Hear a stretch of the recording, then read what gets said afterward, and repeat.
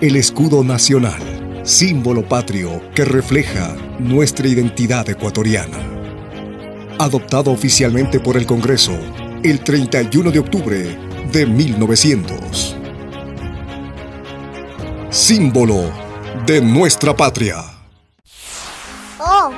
Oh, ¿qué significa eso?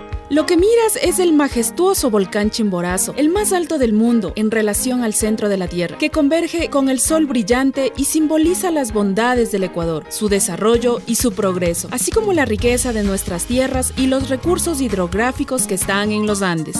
Ahora conocerás más de nuestro escudo nacional. Mira, ¿qué significa ese río? Ahí está el gran río Guayas, que se ensancha progresivamente hasta ocupar toda la parte baja del óvalo, símbolo de exuberante vegetación, naturaleza y producción agrícola nacional, por el cual navega el primer buque a vapor de América del Sur, construido en los astilleros de Guayaquil en 1841.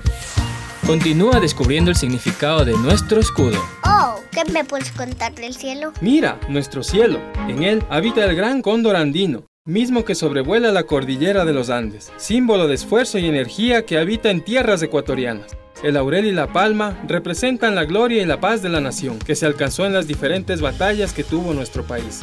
Por esta razón está en el escudo, las fases consulares, emblema de la autoridad republicana que envuelve un hacha. 31 de octubre, Día del Escudo Nacional. Ministerio de Defensa Nacional.